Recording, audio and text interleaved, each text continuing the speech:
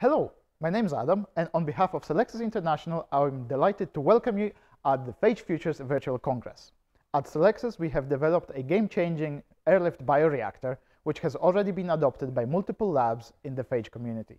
We are very proud to support you and your work on amplification of phages. I'm personally delighted to invite you to a panel discussion which will be entirely dedicated to phage production and amplification and is entitled Beyond the Flask, Phage Production at Scale. The, the panel discussion will take place on Thursday, 25th of February at 10.45 a.m. EST, which is 3.45 p.m. GMT. We have a panel of four fantastic guests who will share their experiences on phage discovery, amplification, production, preparation for medical trials, and maintaining GMP standards. There will be ample opportunity to ask questions, so please don't miss that event.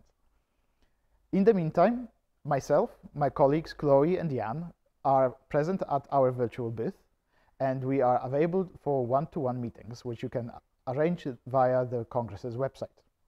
If you would like to find out more how the CellMaker can revolutionize the way you produce your phages, please come and say hello.